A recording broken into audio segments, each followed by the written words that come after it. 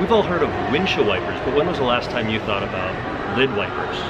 In this episode, we'll tell you all about it.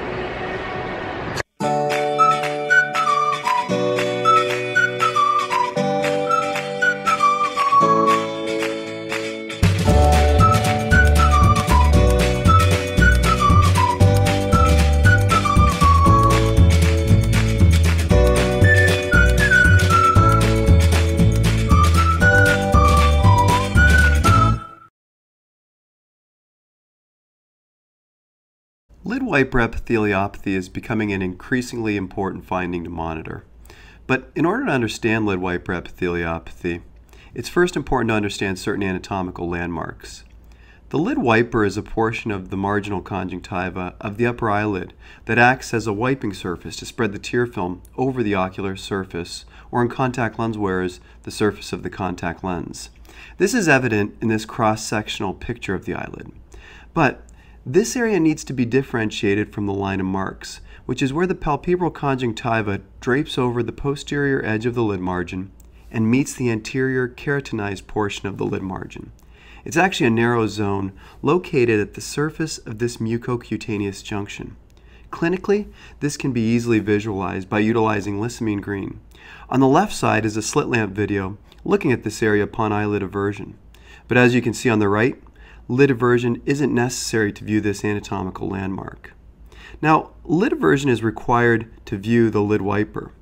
Lid wiper epitheliopathy is simply staining of the lid wiper. This can be visualized with either lissamine green, which can be seen on the left, and fluorescein stain, which can be seen on the right.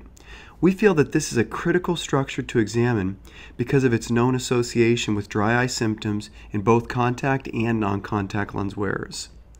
The level of lid wiper epitheliopathy can also be graded depending on the horizontal length and sagittal width of the staining.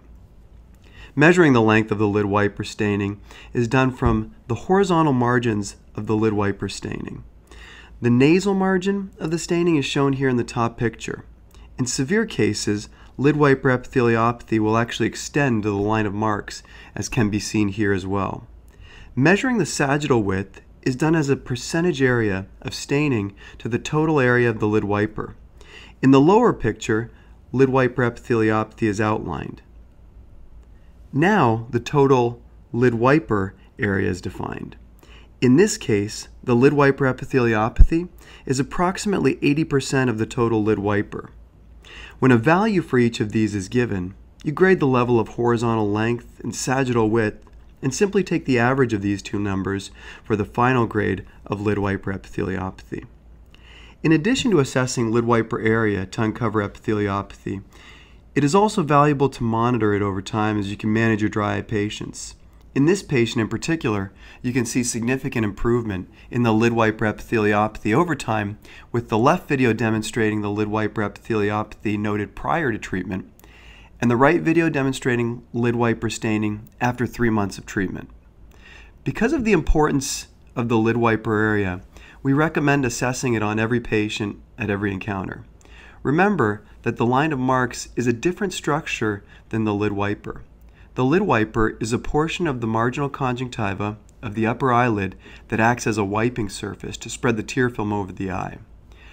Lid wiper epitheliopathy, if present, is easily seen with fluorescein or lissamine green staining upon lid eversion and gives us an important anterior segment marker to monitor over time with our contact lens wearers and our dry eye patients.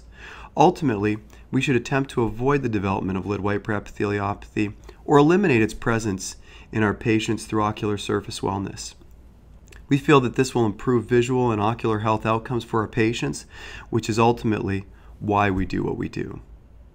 We hope that this has been clinically insightful.